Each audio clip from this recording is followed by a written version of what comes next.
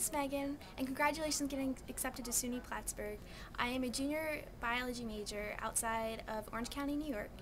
And with, what's great about the biology program here at SUNY Plattsburgh is the fact that we also have setup technology major within the department, we also have a medical technology major, and we also have a biochemistry major. Uh, within these majors, um, there's many opportunities to do internships and undergraduate research, so you can get hands-on experience inside and outside the classroom, which makes you awesome and well-rounded when you when you finally graduate from SUNY Plattsburgh.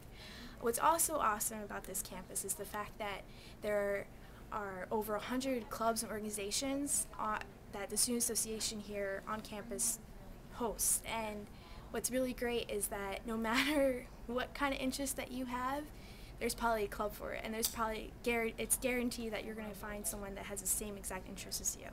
If you have any other questions about SUNY Plattsburgh or anything in general or anything within the biology department, don't be afraid to contact me on Facebook.